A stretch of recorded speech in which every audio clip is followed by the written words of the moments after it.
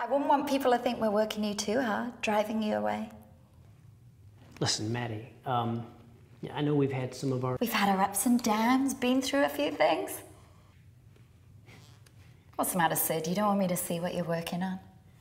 Oh, Antlergene, Debutan, Playville. Yeah, those are, um. Not your accounts. My clients, my company, and I didn't make this company lying on my back, you idiot. Am I fired? So you can leave? That would be so easy. And poach the rest of my clients? No, you can stay. Roll over, be a good boy, sit.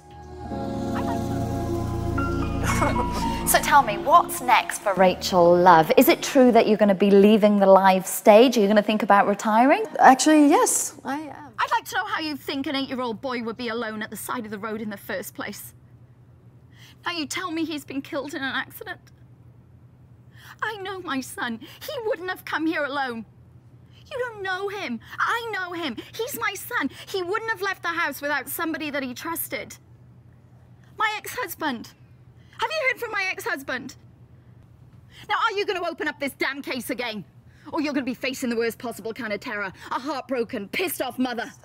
Well, I'm being told, and I understand that it's going to set a world record for the biggest pay per view audience. I mean, that's hardly intimate. Picture your house, your wife, your kids all gone. Use that image, let it guide you. I'm gonna instruct an apprentice for you. You can introduce her to my clients, and when my clients love her, you can think about your exit strategy. Maybe say you've got a midlife crisis. You go into care for your old sick aunt. I don't care. Whatever story helps you with the illusion of your pride. This is my company.